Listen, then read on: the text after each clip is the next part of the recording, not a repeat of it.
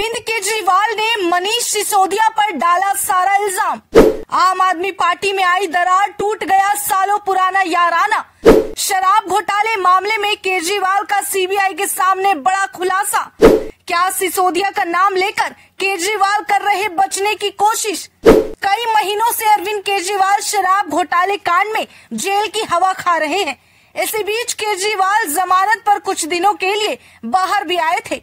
और जेल लौटने से पहले दिल्ली की जनता को इमोशनली अपनी तरफ़ करने की कोशिश की और कहा कि पता नहीं वापस लौटूँगा या नहीं।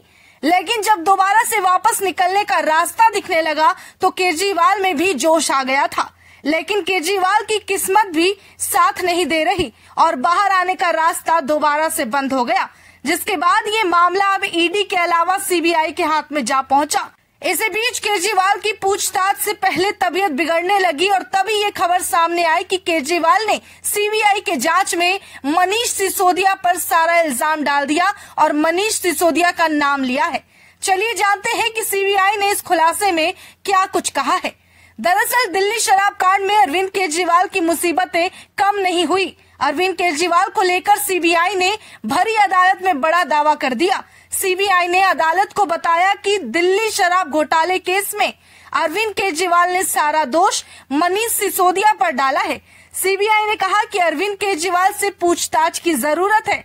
सीबीआई ने यह दावा किया कि अरविंद केजरीवाल ने कहा है कि उन्हें आबकारी नीति की कोई जानकारी नहीं थी। जाँच एजेंसी ने बुधवार को राउज एवेन्यू कोर्ट से पाँच दिनों की अरविंद केजरीवाल की कस्टडी की मांग की है। सीबीआई ने कहा कि अरविंद केजरीवाल की जमानत पर हाई कोर्ट से रोक लगने के बाद ही हमने गिरफ्तारी की। अदालत ने सीबीआई को गिरफ्तारी का आधार बताने के लिए कहा था। इसके जवाब में सीबीआई ने लंबी दलीलें भी पेश की है। सीबीआई ने कहा है, हमें केजरीवाल से हिरासत में पूछताछ की ज़रूरत है। वो ये भी नहीं बता रहे कि विजय नायर उनके अधीन काम कर रहे थे। उनका कहना है कि वो आतिशी मारलेना और सौरभ भारद्वाज के अधीन काम कर रहे थे। उन्होंने सारा दोष मनीष सिसोदिया पर डाल दिया और कहा कि उन्हें आबकारी नीति के बारे में कोई जानकारी नहीं है। केजरीवाल को लोकसभा चुनाव के चलते जमानत मिली थी और उस वक्त हमने केजरीवाल से पूछताछ नहीं की। 16 मार्च 2021 को एक शराब कारोबारी से संपर्क किया गया कि केजरीवाल शराब नीति को लेकर मिलना चाहते हैं।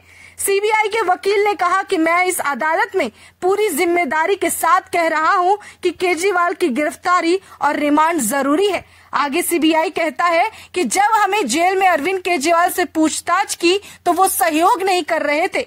इसीलिए हमें उनको गिरफ़्तार करना पड़ा और जब हमने पूछा कि क्या आप गोवा गए थे और आपके ठहरने का खर्चा किसने उठाया, केजरीवाल ने कहा कि उन्हें याद नहीं है। सीबीआई दावा करते हुए कहती है कि गोवा में अरविंद केजरीवाल ने ठहरने का खर्चा हवाला के ज़रिए चुकाया।